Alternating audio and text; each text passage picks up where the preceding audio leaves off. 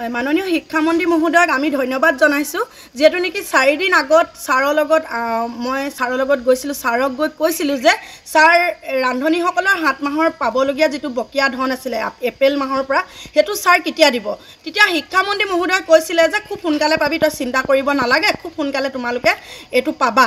গতিকে যেনেকৈ ছাৰে কথা দিলে তেনেকৈ প্ৰতিশ্ৰুতি পালন কৰিছে। ছাৰক অশেষ ধন্যবাদ দিছোঁ। আগৰ যিটো বকীয়া ধন আছিলে এপ্ৰিল মাহত তিনি হাজাৰ টকা ৰান্ধনীসকলে পাইছিলে তাৰপিছত পঁয়ত্ৰিছশ টকা পাইছিলে এহেজাৰ দুটা পাইছিলে তাৰপিছত পাঁচশ এটা পাইছিলে আৰু ছাৰে মুকলি কৰি দিছিলে যে চল্লিছ কোটি ত্ৰিছ লাখ ঊনপঞ্চাছ হাজাৰ টকা। ৰান্ধনীসকলক অৰুণোদয়টো ছাৰে যেনেকৈ প্ৰতিশ্ৰুতি দিলে তেনেকৈ পালন কৰিলে।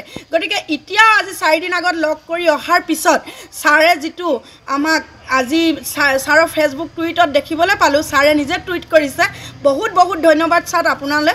আপুনি যিখিনি পইচা মুকলি কৰি দিলে খুব সাধাৰণ ঘৰৰ ৰান্ধনী আমাৰ এক লাখ ওঠৰ হাজাৰ নশ আঠান্নব্বৈগৰাকী ৰান্ধনীৰ দুখ বেদনা আপুনি বুজি পাইছে। লগতে মুখ্যমন্ত্ৰী ডাঙৰীয়াকো আমি বহুত বহুত ধন্যবাদ কৰিছোঁ। কিন্তু এটা কথা ছাৰ আপুনি আমাক আমাৰ দৰমহাটো এ পোন্ধৰশ টকাৰ পৰা ন হাজাৰ ছশ টকালৈ যাতে বৃদ্ধি কৰি দিয়ে।